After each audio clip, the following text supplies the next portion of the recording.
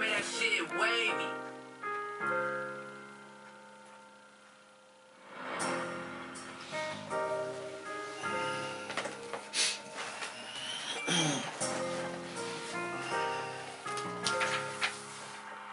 The devil tryna take my mind. I've been doing fine. Only son out of nowhere, he been on my line.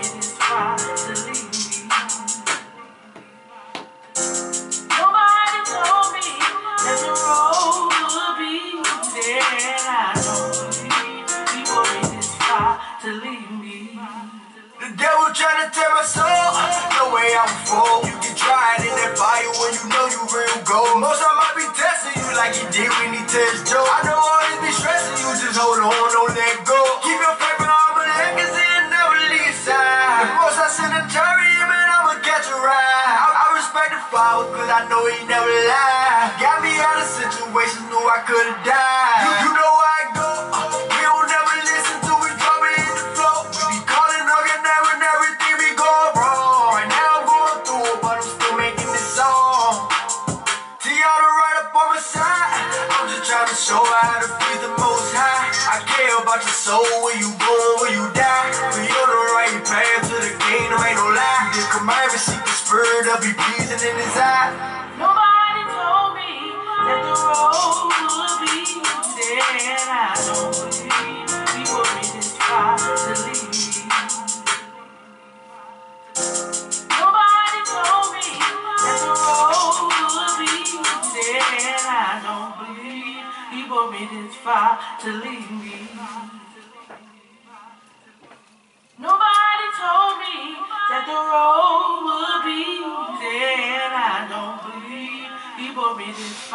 to leave me. Good morning, good morning, good morning, good morning. Facebook Live, good morning, good morning. Breaking Strongholds Ministries, good morning, good morning. YouTube with Orlando, keeping it simple. Good morning, good morning, good morning. How's everybody doing this morning? Good morning. Shabbat Shalom, everybody. Shabbat Shalom. I hope your day is going well. I hope that your week was truly blessed. I hope everything went according to your desires. I hope the Most High really have truly blessed you over and abundantly with love, kindness, and joy. I hope He really has truly blessed you. I hope He has given your offsprings the desires of their heart, which is wisdom and knowledge and understanding of His Word. I hope He really has done a lot of things in your life this week. And those who are practicing the Passover, I hope that you all have a blessed Passover. I hope that the Most High truly has blessed you and given you all the, the things that you need so that your Passover will be great. You know, I hope he truly has. Um, we did Passover last night. Um, it was small. It wasn't nothing great, but we just did it in remembrance last night. Um, uh, it was it was nice. Um, I said I was gonna invite some friends, but it was at the last minute, and I just was. I hope that the the people that I did say I was gonna invite don't get mad with me because I didn't invite them because um it was I just kept it small for me and my wife and everything. And um, I just hope everybody else enjoy your day. My week has been an okay week. Um, I can't really complain. But when I was at the doctor yesterday, right, I was talking to my doctor about some things that was going on with me. And I come to understand whenever you're on a mission and you're trying to do something for yourself, Most High will, not the Most High, but the Hashatan will put things in your way to get you distracted. I mean, when you got, when you, when you on a good path in life and when you trying to make things happen and you trying to just do the will of the Father, what I kind of understand is that the Hashatan will throw things in the way to see how you will handle it. And sometimes it really can derail you. Let me go ahead, because I can talk about it. I'm going to talk about it in a few minutes. Let us go ahead and go to Exodus chapter 20. Let us go on to Exodus chapter 20. Verses 1 through 17. Okay? Exodus 20, 1 through 17, and it reads, And El spake all these words, saying, I am Yahuwah thy El, uh, which have brought thee out of the land of Egypt, out of the house of bondage, and thou shalt have no other Els before me.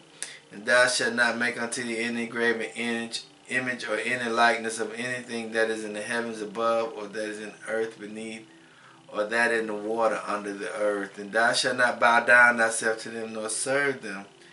For I, thy El, am a jealous El, visiting the iniquities of the fathers upon the children unto the third and fourth generation of them that hate me, and showing mercy unto thousands of them that love me and keep my commandments.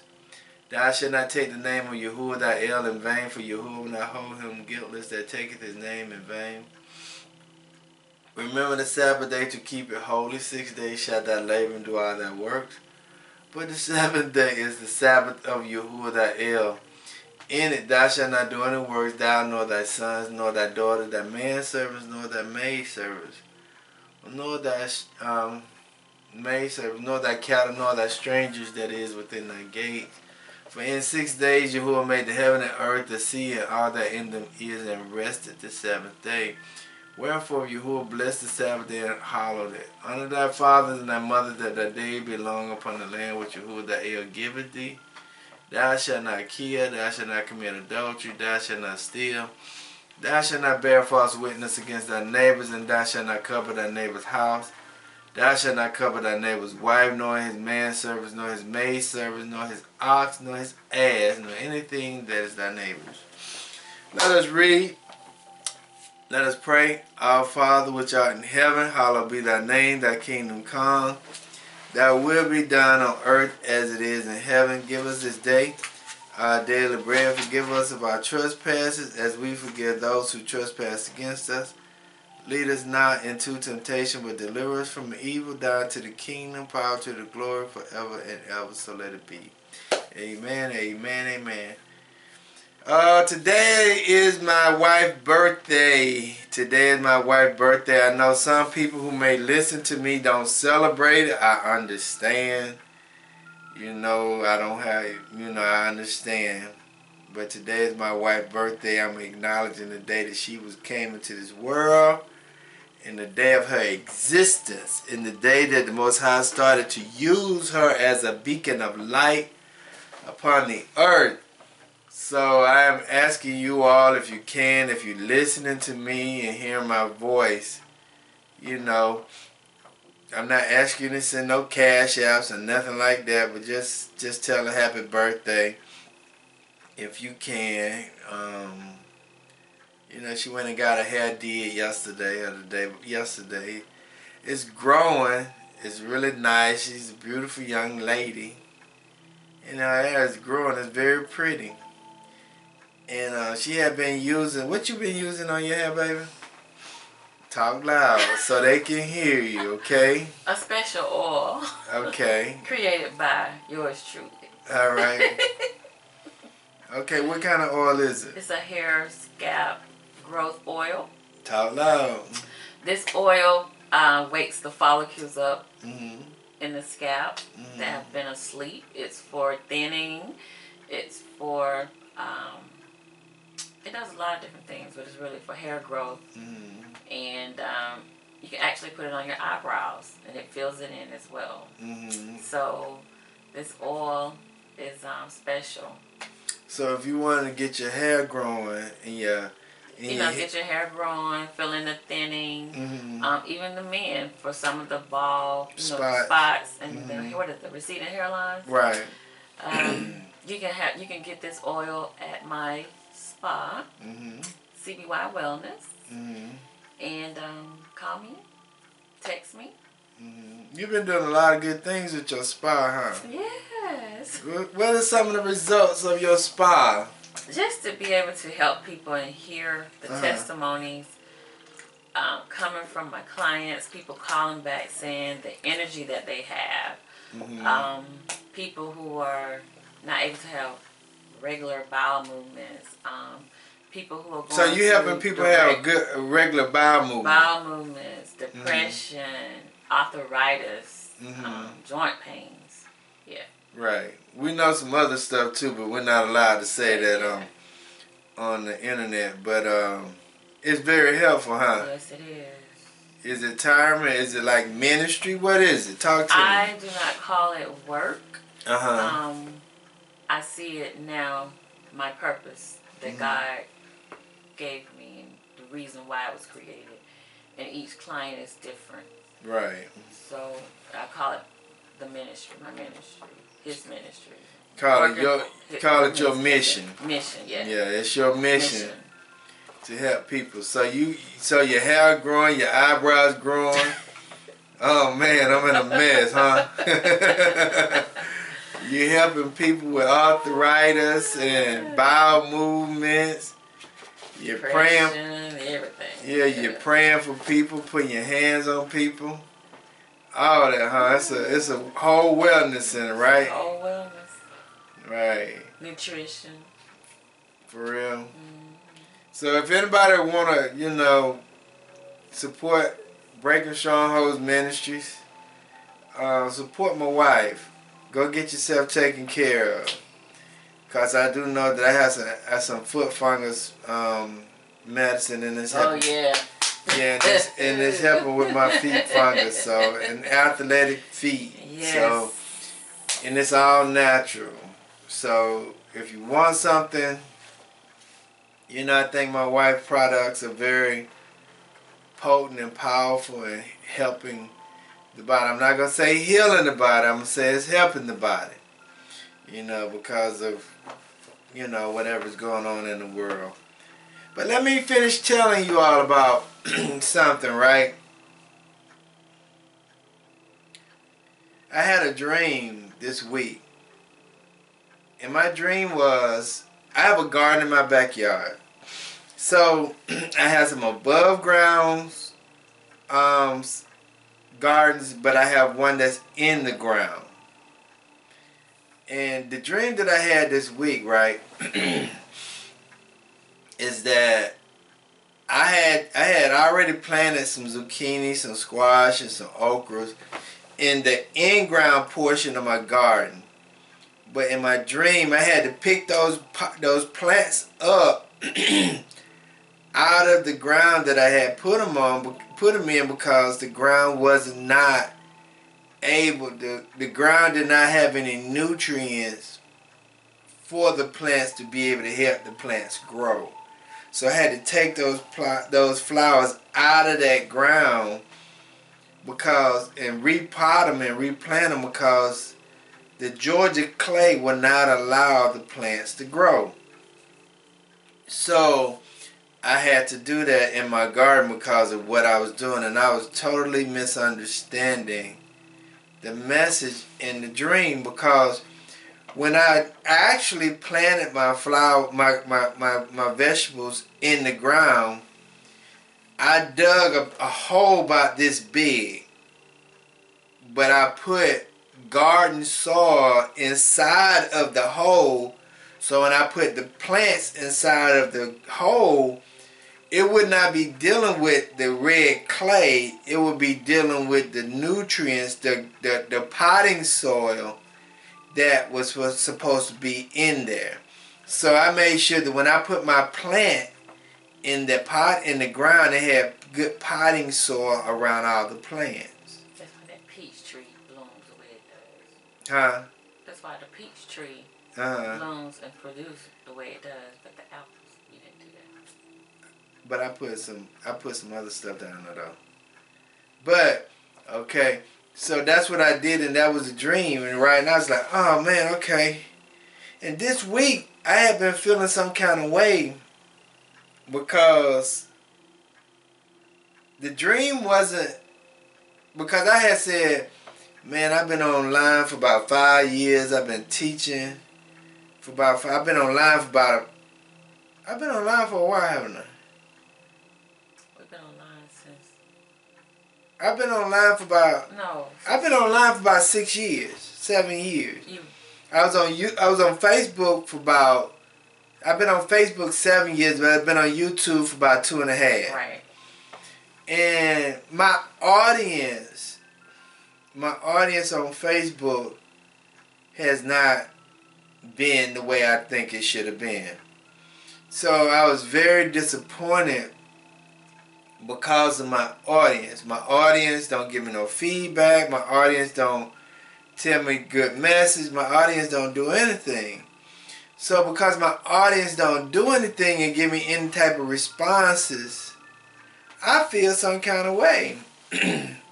and like just a minute ago, the Most High was saying to me, what you're going through is not about your audience. What you're going through is about you. It's all about you. Because those things, those events going to happen. And it's just to see where you are and what your character is like when your audience don't say good word, when your audience don't even want to buy your dinner, when your audience don't do anything for you, but what are you going to do in spite of what your audience is not or is doing for you? Even though I haven't had any contributions from my audience, I haven't asked for anything from them, but I have I know I have a hundred faithful people that listen to me weekly. But they not have not one time said, let me take you out to dinner. Let me do this. Because you put your life on the line for us. You do these things here. You do that for us. You're dedicated to even though I do this every week, I have not had people to come out on the line and say, let me do something for you. Because you're trying to enlighten us and help us. And I felt some kind of way about that. But the Most High showing me through this text today, it ain't about it ain't about my audience. It's all about me. You know? So I can't complain about it. I'm not gonna say that whether my audience do anything for me or not. Whether you even just say thank you for your message, thank you for your time and energy that you give me. I can't be concerned about you as my audience. I just have to continue to do my will, my purpose. You know, so let us go to Mark chapter 4. Let us go to Mark chapter 4. Mark chapter 4. And Mark chapter 4, verses 21 through 25. But I'm not going to even deal with this. These are, this is the key verse. This is the key verse. Verse 25. But I'm to read 21 and 24. But I'm to jump back up to verse 8. Verses 1 through 8. But this is the key. This is the very important part of Mark chapter 4. Okay? And he said unto them, Is a candle brought to put under a bushel or under a bed, and not to be set on a candlestick? For there is nothing hid which shall not be manifested. Neither was there anything kept secret, but that it should come abroad. If any man have ears to hear, let him hear. And he said unto them, Take heed what ye hear. Take heed to what you hear. With what measure you meet, it shall be measured to you. And, to, and unto you that here shall more be given. This is the key verse right here. For he that hath, to him shall it be given and he that has not, for him shall be taken even that which he has. Let me read it differently in the inspired, in the Joseph Smith translation of the Inspired Bible. You're going to understand it better from the Inspired Bible. And it reads, It is a grain of mustard seed, which when it is sown in the earth, it is less than all the seeds that be in the in the earth. But when it is sown, it groweth up and becometh greater than all herbs, and shooteth out great branches, so that the fowls of the air may lodge under the shadow of it. So, when it says, For he that has, to him shall it be given. And he that has not, from him shall be taken, even that he which he has. Okay.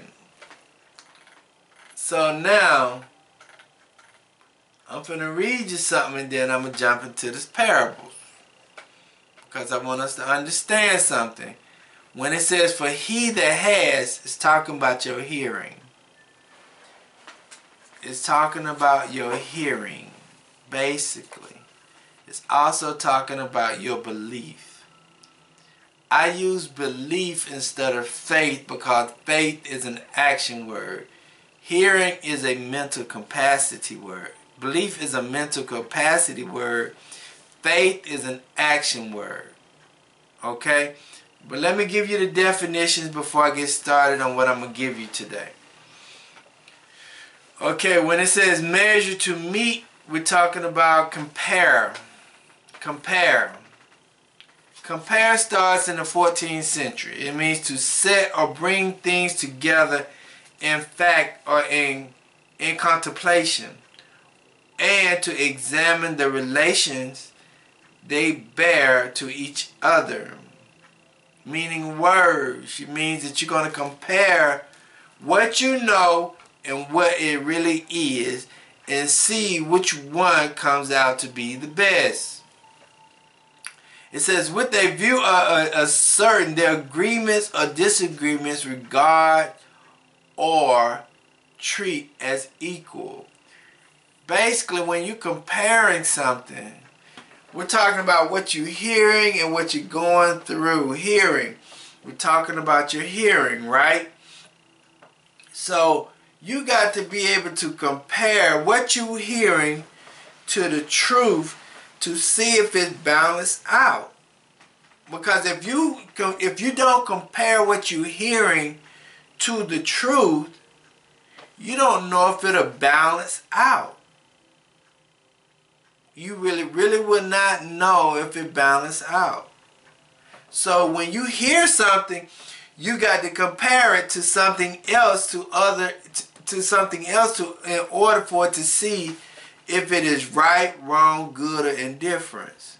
That's what compares means. Okay. The word substance, in a general sense, means bring something existing by itself that that which really is or exists equally applicable to the matter or spirit. Substance means essential nature, real or essential parts, being, essential, I mean essence, material, that which supports accidents. Essential means basically the substance Substance means material, evidence, things that you actually can see. So when you're comparing something, you're comparing the substance that's in reality. That is, when you're comparing something, you're comparing, and one of the most important things that you should compare is you should compare the Bible to everything that you hear and that you see. Because the Bible is true in its essence.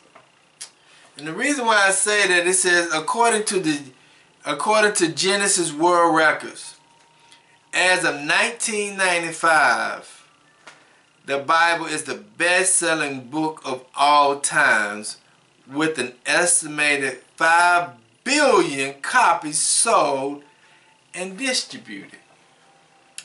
So when you compare, when you, the substance is the evidence of things out here. So when you want to compare all the events, everything that's going on in the world today, you have to compare it to something. And the best thing that you can compare it to is the Bible. Okay? Understand that the Biblio. Okay, so now let me read you something on the federalreserve.gov website, right? It says, what is digital, what is the central bank digital currency? A CBDC is a digital form of central bank money that is widely available to the general public. Central bank money refers to the money that is a, a liability of the central bank. In the United States, there are currently two types of central bank money. Physical currency issued by the Federal Reserve and digital balance held by commercial banks at the Federal Reserve. While Americans have long held money predominantly in digital form, for examples in bank accounts, payment apps, or through online transactions, a CBDC would differ from existing digital money available to the general public because a CBDC would be a liability of the Federal Reserve and not a commercial bank. Listen to that part. If the United States go to a CBDC, the ultimate control of that CBDC in in to the general public because listen to this a CBDC would differ from existing digital money such as Apple Pay, bank accounts, and online transaction. it would differ from that, okay? What you have today, a digital currency will totally be different. Okay? A, CB, a CBDC would be different from the existing digital money available to general public because a CBDC would be a liability of the Federal Reserve and not and not of a commercial bank. So that that's saying if the CBDC comes out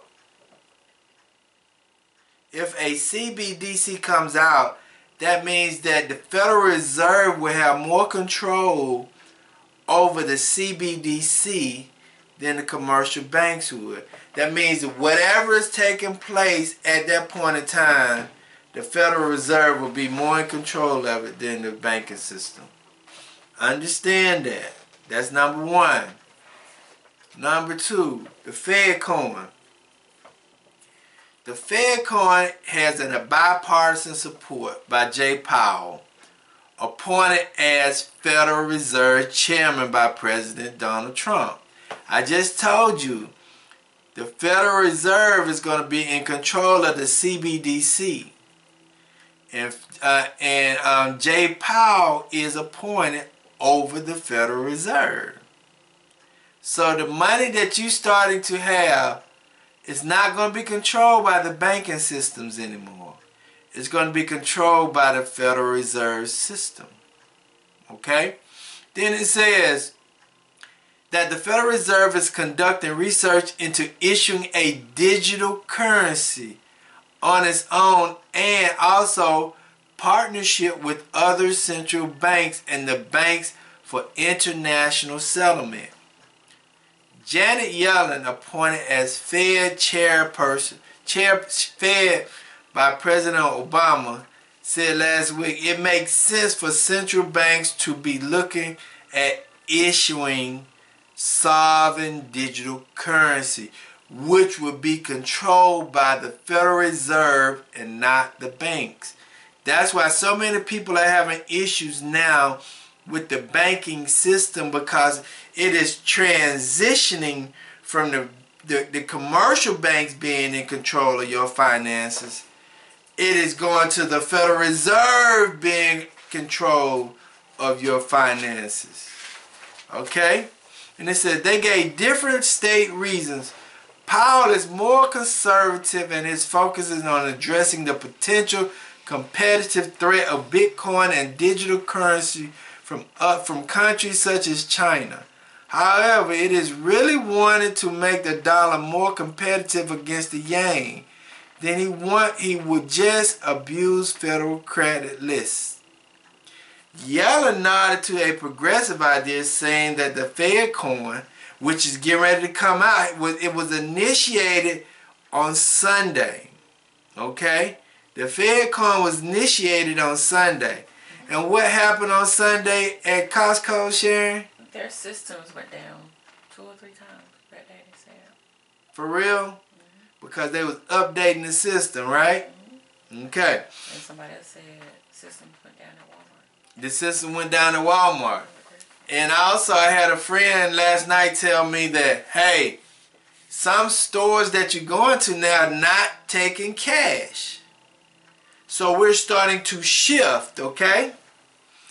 So it says Yellen nodded a progressive idea saying that a Fed coin could help address hurdles to financial inclusions in the U.S. among low-income households. They always use an excuse to do something. Now they say we need to bring digital currency in because of China and also because of low income.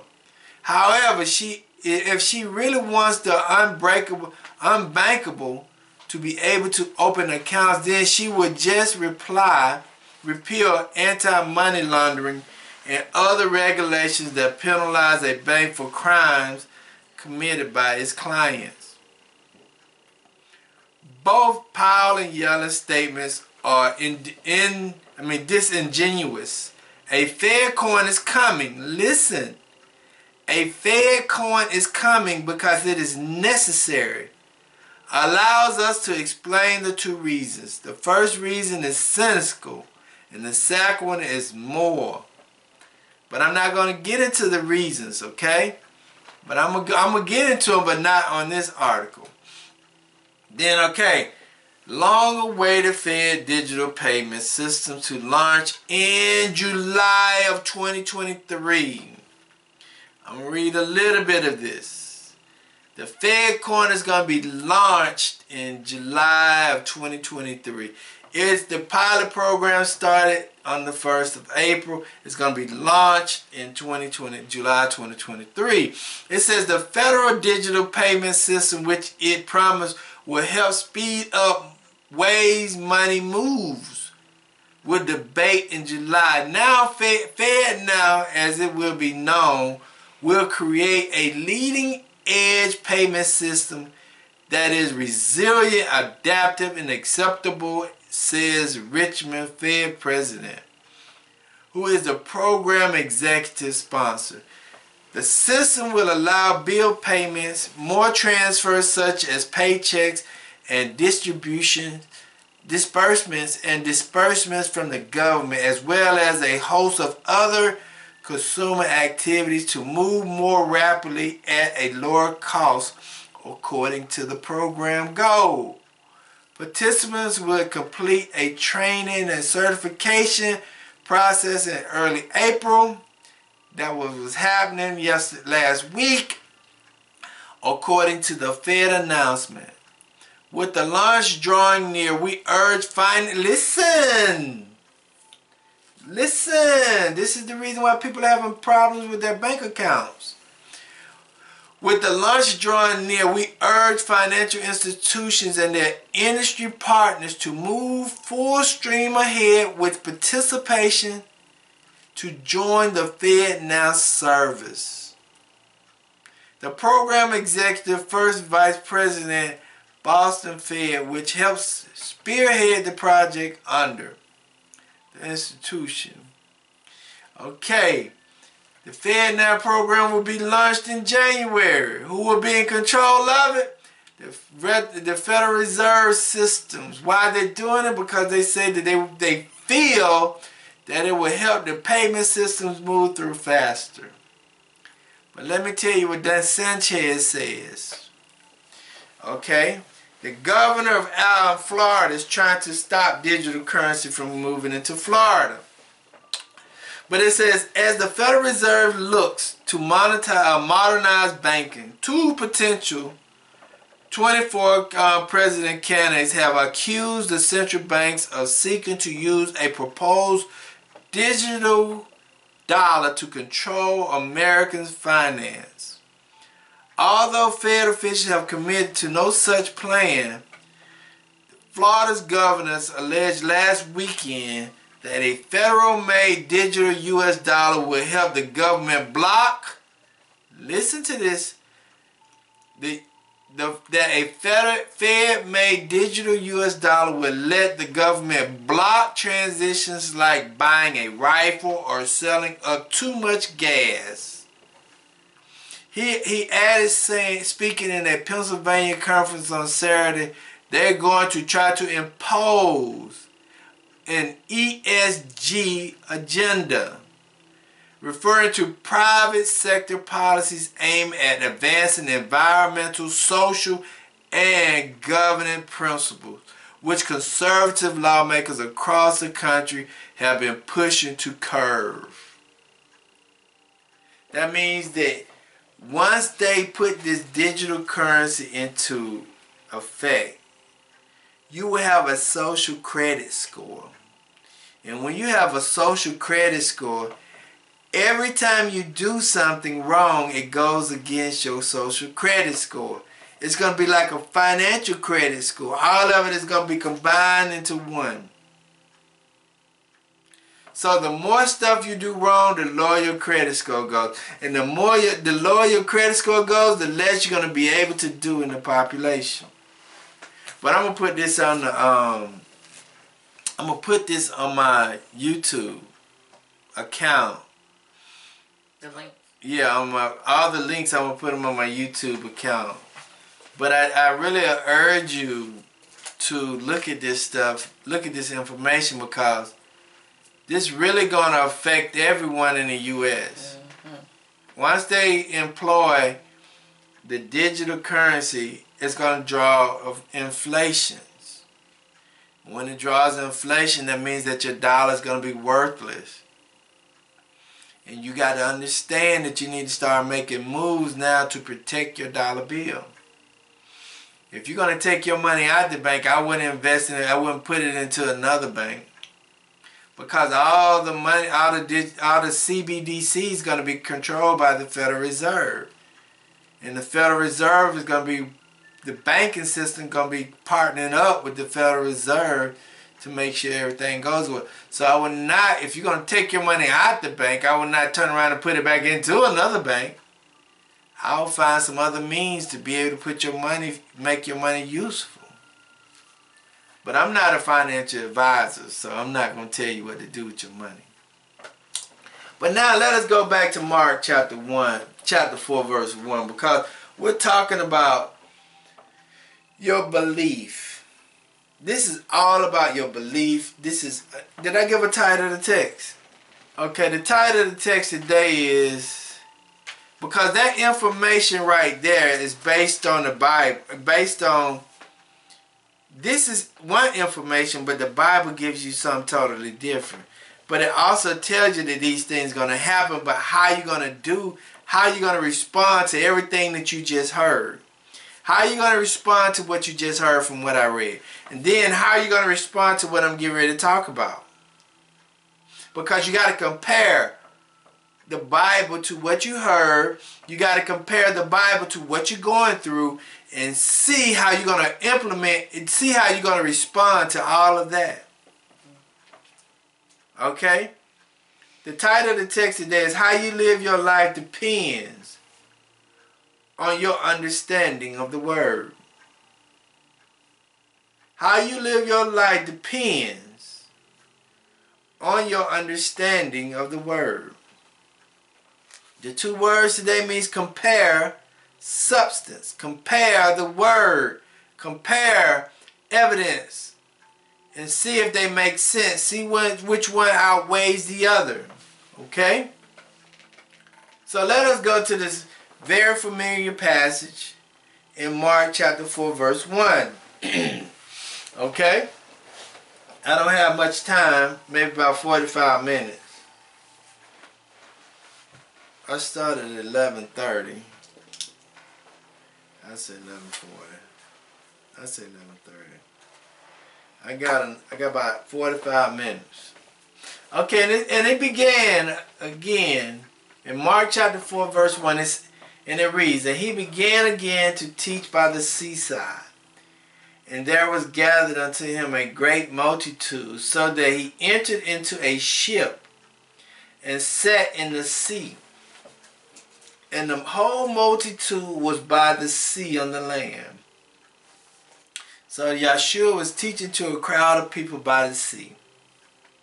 And he taught them many things by parables and said unto them in his doctrine. The reason why he taught them in parables because they could not understand the real true definition or the real true meaning of what was act what he was actually saying because they was not ready for what he was trying to teach them. They was very ignorant in his teaching, so he had to use parables so that they could be able to understand. Because he could not he could not teach them because of their educational level. Okay, and it says, hearken Behold, there went out a sower to sow. And the reason why he's using parables like farming and stuff like that, sowing and weeping and because that was the that was the lifestyle back in the day. Back in the day was the lifestyle of farming. So he basically used a lot of parables dealing with farming, illustrations of parables of, of farming because that's what they was used to. They can easily understand that. Okay? It says, Hearken, behold, there went out a sower to sow. You can use that in many var variations. You can say, a man that went out and planted in his yard. Like I gave you. Like I told you. I went and planted some, some stuff in my garden. I was I was a sower sowing, planting my vegetables in my garden. And it came to pass as he sowed, some fell by the wayside.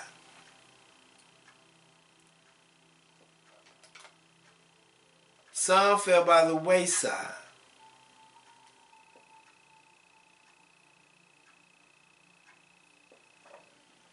Some fell by the wayside, and the fowls of the air came and devoured it. Understanding that we're comparing, we're using the two words, compare and substance, but we also talking about a spiritual belief, your spiritual belief. How you're able to stand on your spiritual belief is when you compare your the Bible to what's actually going on in the world today and what actually what people are saying and see if the Bible is able to stand up against what people are saying. Okay. My, and then it says, it, in verse 4 again, it says, And it came to pass as he sold some fell by the wayside, and the fowls of the air came and devoured it. See, a lot of the times when people get started on a journey, on their spiritual growth, that's why I said earlier, every time you start something, something gonna try to stop you from doing what you're supposed to be doing. Every time I start an exercise regimen, something always stopped me from doing it. And I was so and I'm so determined to continue to work out. Was, that's why I was telling my doctor. That's what I recognized yesterday in the doctor's office. Me and my son started. We got into argument. I was working out one time. I messed up my ankle. Every time I get started on doing something positive, something always stop me or try to derail me from doing it. Just like I just said earlier in my message, you know, even though my listeners haven't done anything for me, I felt discouraged. But I cannot allow you to stop me from doing what I got to do. Even though you hear this stuff on Fed coin, what they getting ready to try to do and how they're going to try to implement it and what they're planning on doing, they can use it for cynical stuff and it could be wicked. You still have to find a way to continue to move. You cannot allow something to stop you from being the best that you can be. And see, that's the hardest part about it because he said, and some fell by the wayside, and the birds of the air came and destroyed it, devoured it. You're going to have challenges in your life. You're going to have obstacles that get in the way. You're going to have your wife act crazy. You're going to have your husband to throw temper tantrums. You're going to have these things. You're going to have being unemployed. You're going to have the ups and downs of life. But my first point is the first character that I recognize in verse 4 is vulnerable people. Vulnerable means in need of special care. In need of special care, support, or protection because of age, disabilities, or risk of abuse or neglect. To physical to physical or emotional attack or harm. See, vulnerable people are subject to be devoured up because they are incapable of being able to support themselves. See, he used this because this was at the beginning of something. See, when you're starting something, you become very vulnerable because the lack of information, the lack of strength that you have in that. So when you're vulnerable, you you you're subject to become a prey. You're subject to become destroyed because the lack of protection that you have, either from physical or spiritual. That's why you got to continue to push and push and push and do not allow anything to get in your way because they're going to come at it. People know that you're new to the game, they're going to come at you. People know that you're weak and they feel like you're broke, busted, and disgusted, or they see something about you, yeah, they're going to come at you. They sure are. They're going to come at you to see how far they can mess you up. Let us go to Matthew chapter 13, verse 9.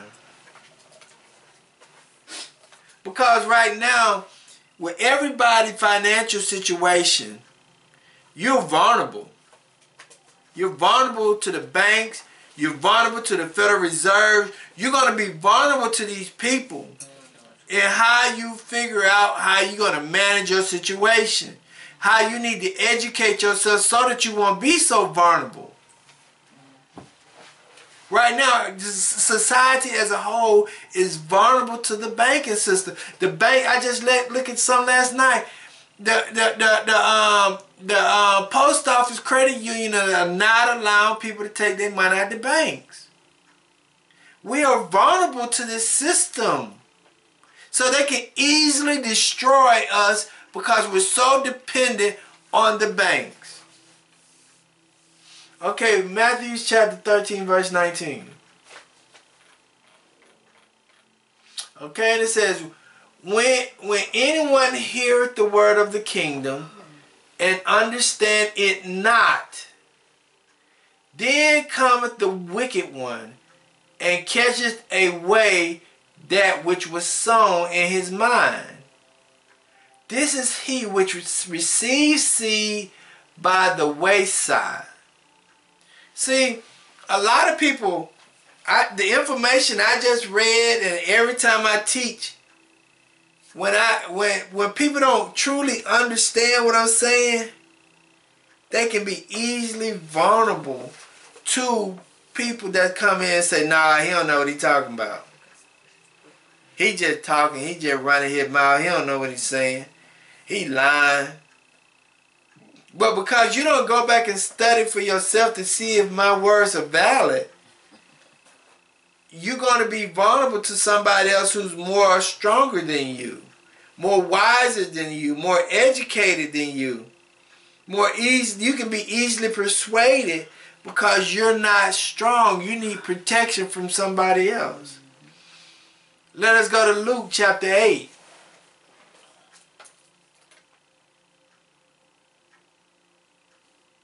Verse 12. Luke chapter 8 verse 12. Because we need if we don't have the understanding of what we need to do at this point in our society, we're going to be jacked up. Luke chapter 8 verse 12 it says, But those by the wayside are they that hear, then come to the devil, then cometh the devil and take away the words out of their mind, lest they should believe and be saved. See, right now, you have a lot of people uh, at a moment where, man, what I heard what he just said. Is it true? What should I do? And then they'll go to somebody. Orlando need don't need to be telling everybody to do this and that and the other. Or they'll listen to somebody and say, well, I, I don't think it really gonna happen. I'm just gonna keep all my money in the bank anyway. And then to persuade that person not to do something because they don't listen to someone else and because they haven't educated themselves enough to make a good decision. You're not going to make a good decision because you don't quite understand what's going on. And you're not going to make a good decision because you allow somebody else to come in and persuade you not to do it. Not to make a decision, but to trust in the Federal Reserve System. Okay, and let's go to Second Thessalonians. Chapter 2, verse 12.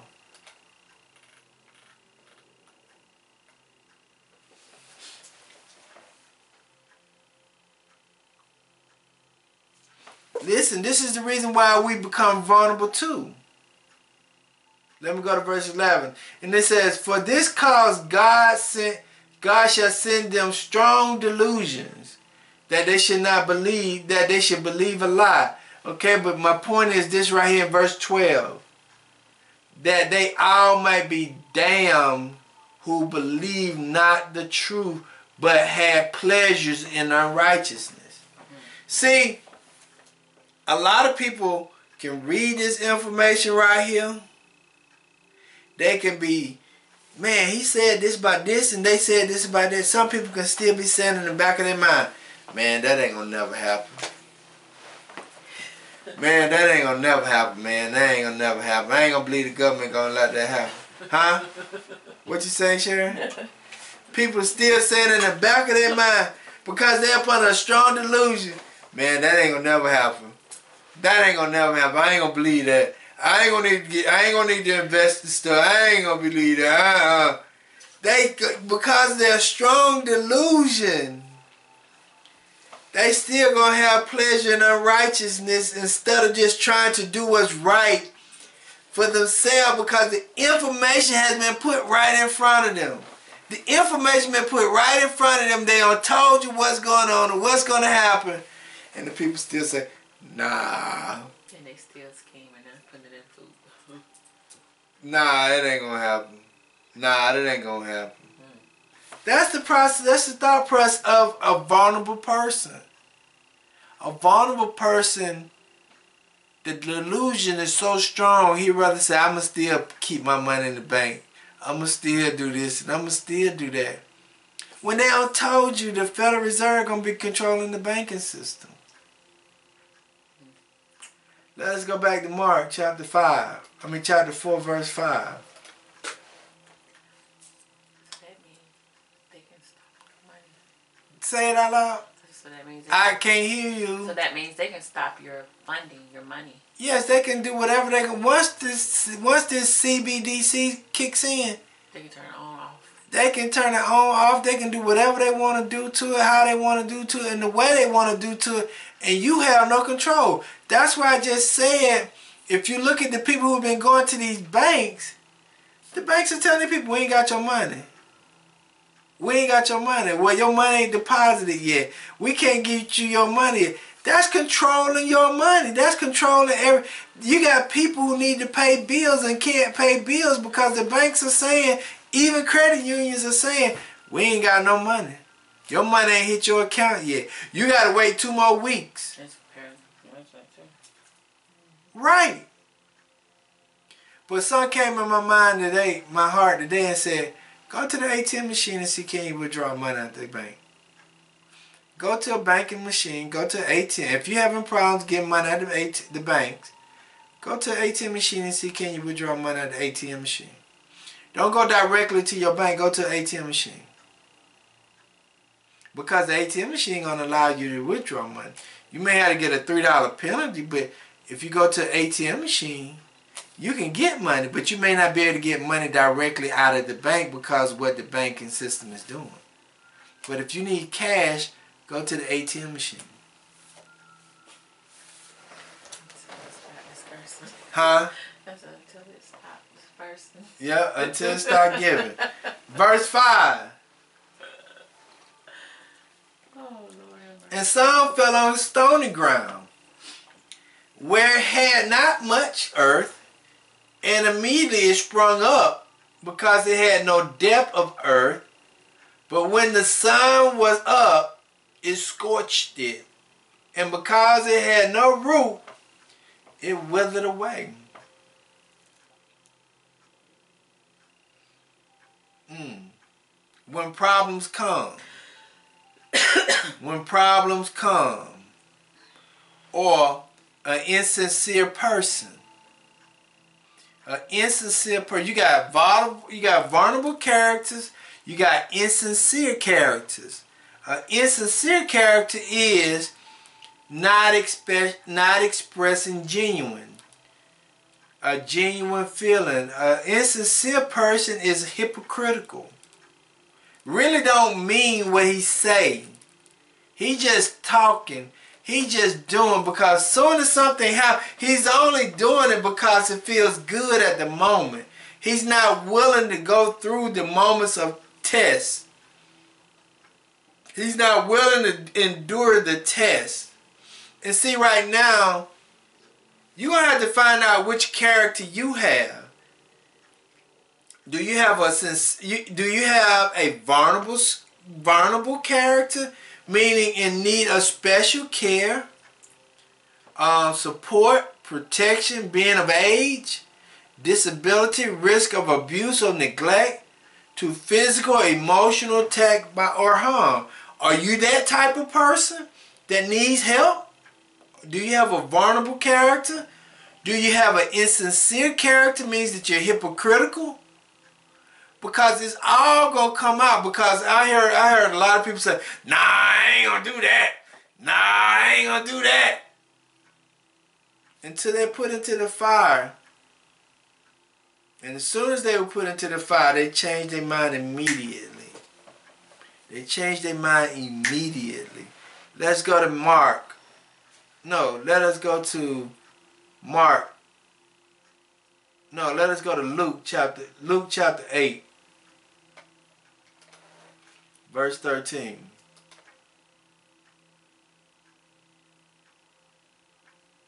Oh wow. Let us go to Luke chapter 8 verse 13.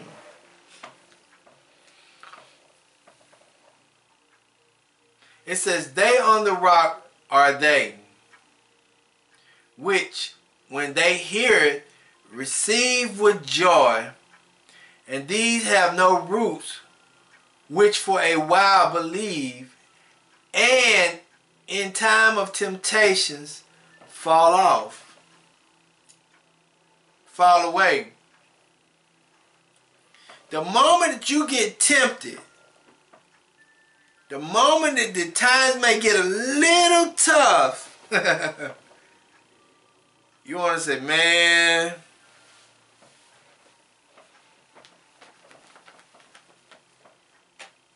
you want to throw in the towel. And see, we coming to that point where either you're going to be sincere or insincere. Because a lot of us want to give up when the tough times get hard. Because we don't want it. We don't want it. We hate it. We hate it because it's tough. It builds character. We don't want that character to build, mm-hmm. that situation to build. Mm-hmm. It makes us be who we don't want to be. It makes us grow. It makes us say, ugh. But it also shows us where we are. Let us go to Matthew 26. Because this moment here, when they tell people, either you take this, this this thing that I'm gonna put in your hand, or you won't be able to use your money. What you gonna do? Are you gonna take that and put it in your hand? Or are you gonna lose your money? What are you gonna do? Matthew 26, 69 through 75. It reads, because Peter said, Oh man, oh man, oh man. But listen to what Peter did. And now Peter sat without in the palace. And a damsel came to him, saying, Thou also was with Jesus of Galilee. But he denied before them all, saying, I know not what thou sayest. See, the moment that Peter was tempted, or challenged, or tested, he denied, he refused. And it says, And when he was gone out into the porch, another maid saw him and said unto them that were there, This fellow was also with Jesus of Nazareth. Listen. And again he denied with an oath, I do not know the man. The moment that you're put up under pressure, what you gonna do? The moment that you're put up under pressure, what you gonna do? Then it says, and after a while came unto him that that they that stood by and said to Peter, Surely thou also art one of them, for thy speech bewrayed, bewrayed thee. Then began he to curse and to swear, saying, I know not the man. And immediately the cock crew. And Peter remembered the words of Jesus, which said unto him, Before the cock crow, thou shalt deny me thrice. And he went out and wept bitterly. And see, Peter was hypocritical. He was insincere in following Yahshua the HaMashiach. Because the moment that he was tested, the moment he failed a test, the moment that you're tested, how are you going to respond to it? Because ain't nothing worth having is easy. And I, man, I be wanting to jump up and down and scream and damn holler because a lot of times this life is hard. Life is hard. The obstacles that we deal with on a daily basis is hard. I can understand this this insincere person because you don't want to deal with the consequence. You don't want to go through the struggle because it's too difficult. I don't want to fool with all this mess, man. I'm saying, why can't it just be one way? But that ain't the way it's supposed to be. It's testing you. But insincere people gonna fail the test. Peter was insincere at that time. He was just running his mouth like he was born diggity bone. Man, I'm gonna do, man, I'm gonna... Man, shut up. That's insincere people. They really don't mean what they say. Because the moment that they're being tested, how they gonna respond? Let's go back to Mark, verse um, four, chapter four, verse seven.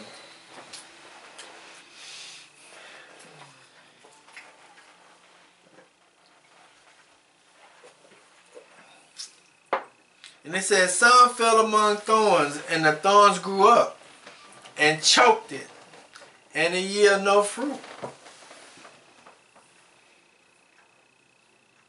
You're going to have people to be around you to entice you. You got some enticing characters. You're going to have some vulnerable characters. You got some insincere characters. And you got some people that out here to entice you. Listen to it again. And some fell among thorns. And the thorns grew up and choked it. And it yielded no fruit. You're going to have some. Huh? Who? Huh? FedEx?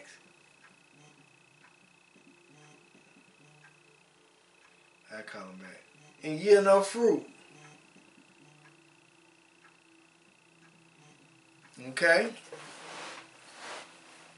Let us go to Genesis. Chapter 3.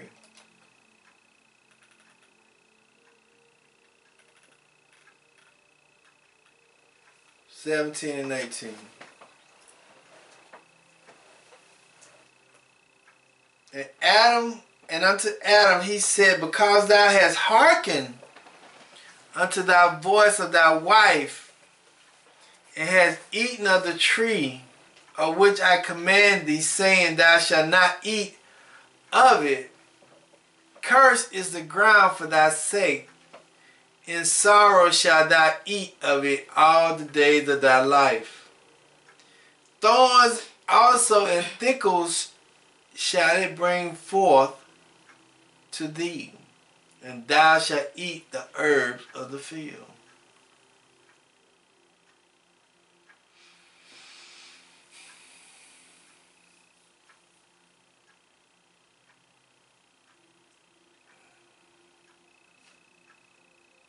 The word entice means to lure or tempt someone by promoting, promising them something that they like.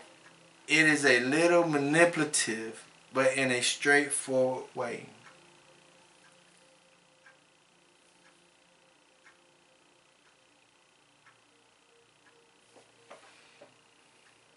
Let us go to Matthew chapter 26. See, it's, it's, it's very difficult standing on your faith. It's very difficult standing in the midst of it. It's very difficult because you have vulnerable, you have insecure, or insincere, you have people that's really enticing you through difficult problems and stuff. Matthew chapter 26, verse 14 through 16. It says, Then one of the disciples called Judas of Iscariot went unto the chief priests and said unto them, What will you give me? And I will deliver him unto you. And they and, and they covered they covenant with him for 30 pieces of silver.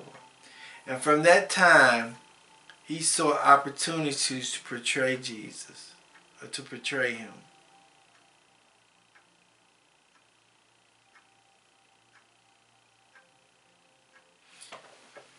You never know why people sell out their souls. You never know why people do the things that they do.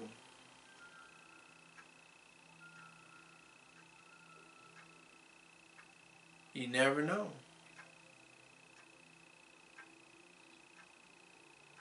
Thorns and thistles can be problems and, and you don't never know what Judas of Iscariot was going through, what he really wanted to to be able to sell the Messiah out. We don't know if Adam was insecure or insecure in himself when he allowed Eve to tempt him or not. We don't know. We don't know what was this persuasion point where he made just said, okay, I'm gonna give in, baby. We don't know what she did, what she said, how she did, whatever it is. To make him give in. That enticement could be whatever it is. But throughout, our, when you're looking at these three characters, they lack the belief system of the word. Your decision is going to be based on your belief system.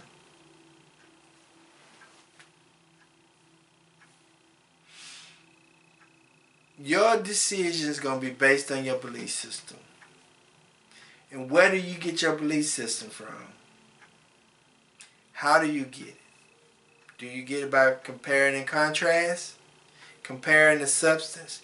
Comparing the Bible to everything that's going on? Or you do you use the Bible at all?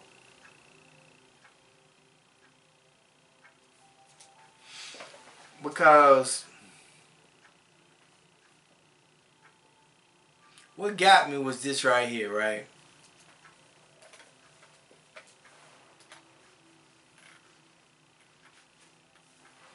After Jesus, this is very, very, very significant. And we need to understand it. I want us to understand this. Because in this in this parable that he was teaching the disciples, he got it from his own experience. Listen to it carefully. And it came to pass in those days that Jesus came from Nazareth to Galilee and was baptized of John in Jordan. John in Jordan. This is the moment that he really started to be able to minister. This is when he first got his baptism, okay?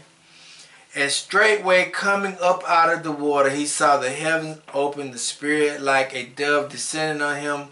He was anointed. This is the moment that he went into the water, got baptized. He was anointed by the Most High.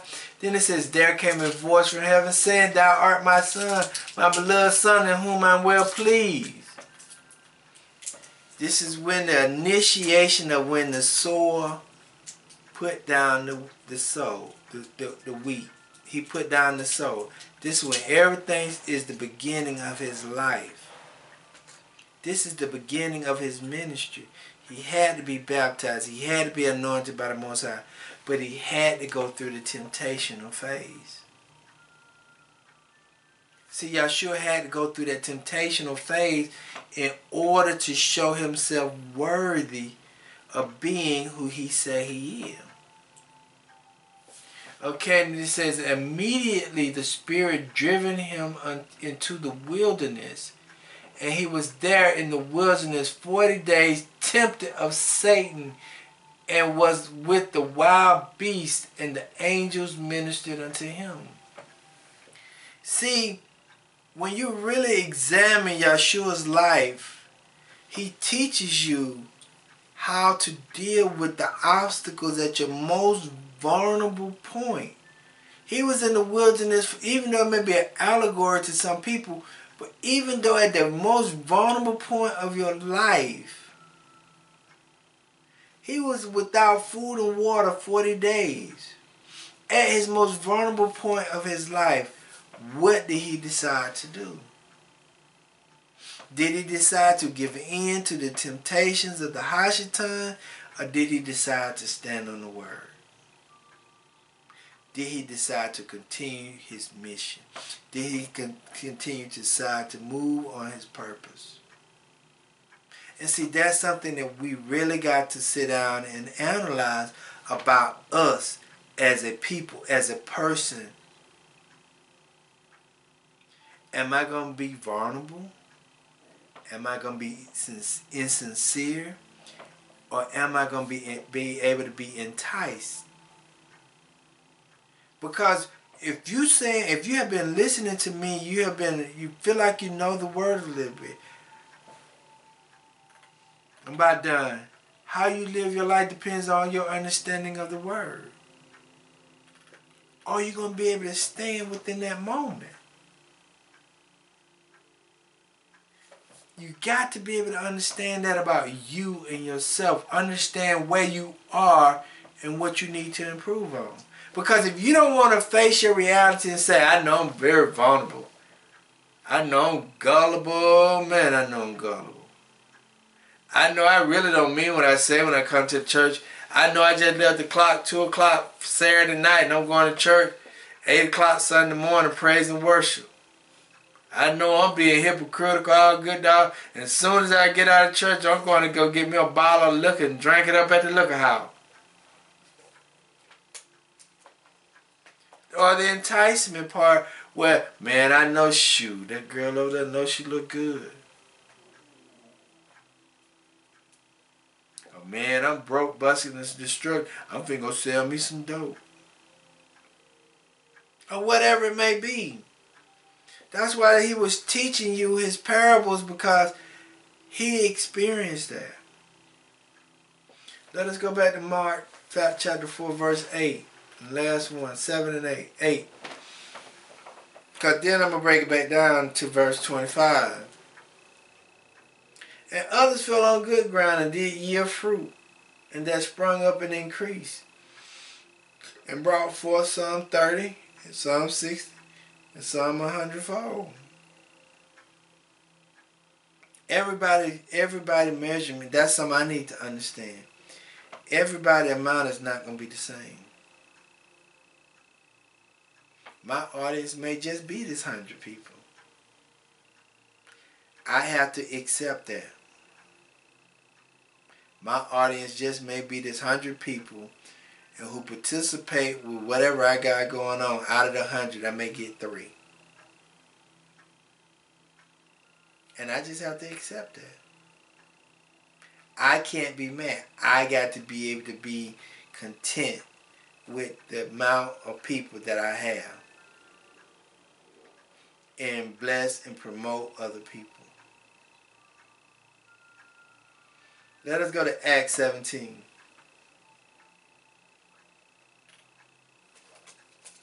Seventeen eleven.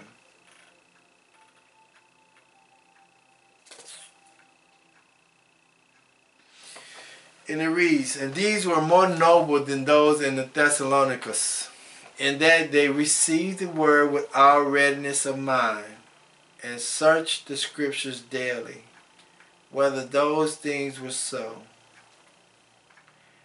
Therefore many of them believed, and also of honorable women which were Greeks, and of men not a few. When you really start to compare the the Bible with the substance of reality, it'll make you really search out the scriptures daily. It'll make you want to stand with integrity. Because integrity means a fundamental component of character and involve the ability to engage in ethical, correct behavior regardless of external pressure. See, all the first three they broke because of external pressure. Are you going to break because of what the Fed coin may do to you? Are you going to break because of what the Federal Reserve may do? Are you going to break because of your marriage may be falling apart? Are you, are you having problems in your marriage? Are you going to break because you might have lost your job? Are you going to break because of the pressures that's in the external realm? Are you going to lose your integrity because of what's going on on the outside of you? Because that's what it's all about. Your integrity at this point in time. Let's go to Colossians 1 and 6.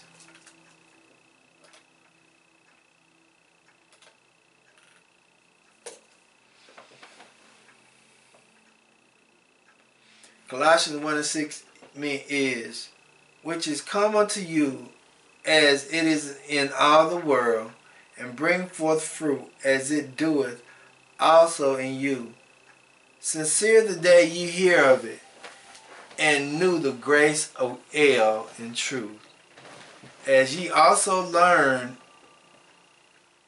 of Ephesus, our fellow servant, who is for you a faithful minister of Christ.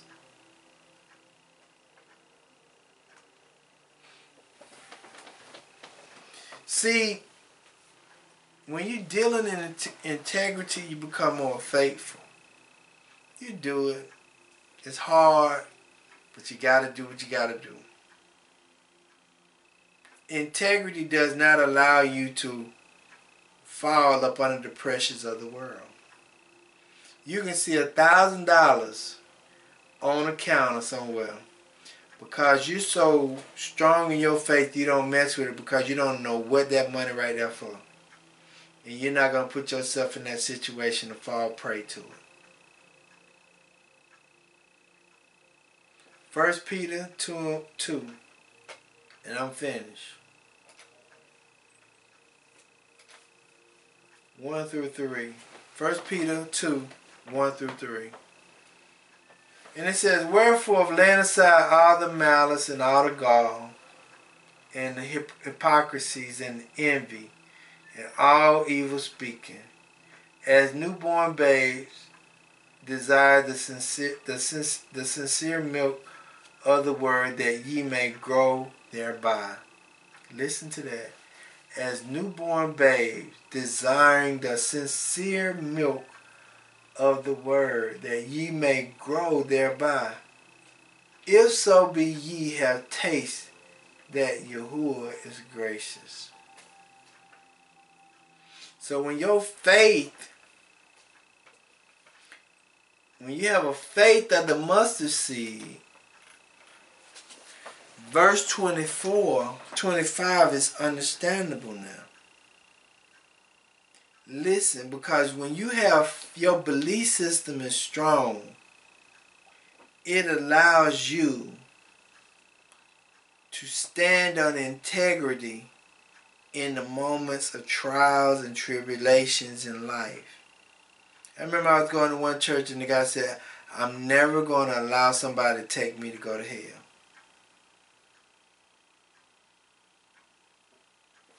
Because how you live your life depends on your understanding of the word.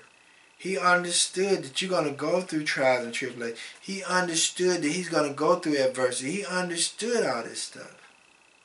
And when you understand it, you you would deal with it way, according to Scripture. That's why this is so important. It says, it is like a grain of mustard seed. Your faith is like a grain of mustard seed, which when it is grown, sown in the earth, is less than all the seeds that be in the earth. When you start to have faith, you're going to go through some adversities. You're going to go through some challenges. You're going to go through some situations. And it's going to be less than all. Your faith is going to be smaller than the problem. But the more you grow in your faith, the bigger your faith come and the less your problems be. That's what basically it's saying. The more you increase in your faith, the less your problems become. Because you know who you believe in. And he says, but when it is sown, it is grown up and become greater than all herbs and shooteth out great branches, so that the fowls of the air may lodge under the shadows of it.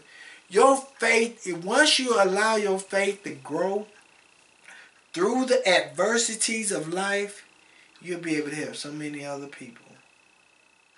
But as long as you continue to fail and fail and fail and fail, you ain't able to help nobody. Because you don't your faith is not strong enough to help nobody else. You'll be a hypocritical person. You'll be an insincere person. You'll be a person of enticement. Girl, gonna leave that man. He ain't no good. Because why are you telling that person that? Because that's what you've been doing. Only strong people gonna give you strong advice. Only weak people gonna give you weak advice. Only crazy people gonna give you crazy advice. And how they live their life is depending on how they interpret the word. Listen to a fool when you want to. It's gonna cause you to lose everything that you have.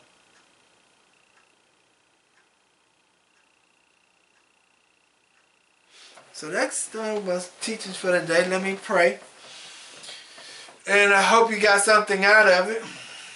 You know, because we get we get ready to deal with some stuff and how you deal with it gonna be based on how you understand the word. And what's going on in reality.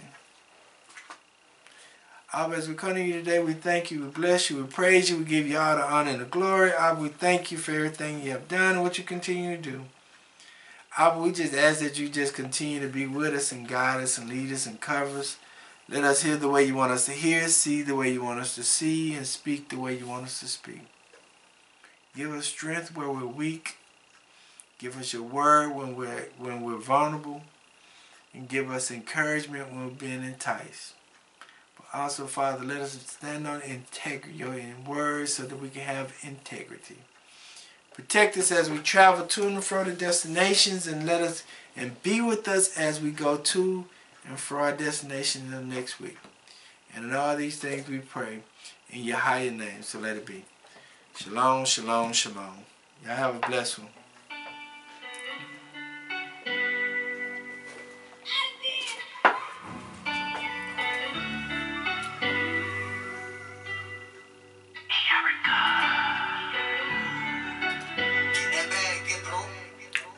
Nothing is the same anymore. Everything's changing. I really can't explain what I'm seeing when I look outdoors. Society is falling, Mother Earth is calling. How much more pain can she endure? I will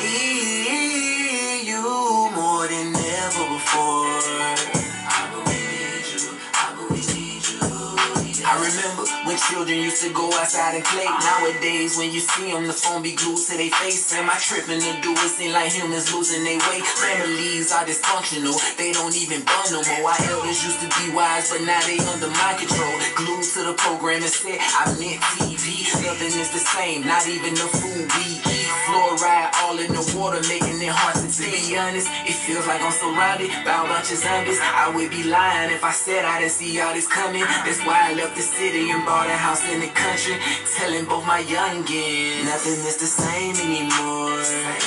Everything's changing, I really can't explain what I'm seeing when I look outdoors. Society is falling, Mother Earth is calling. How much more can she endure? I will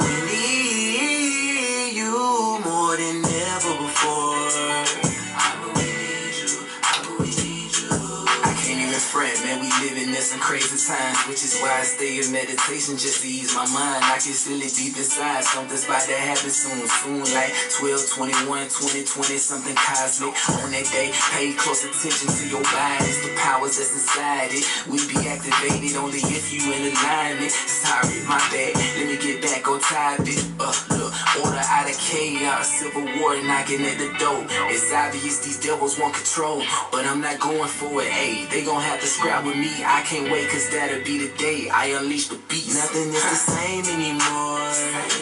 Everything's changing, I really can't explain what I'm seeing when I look outdoors.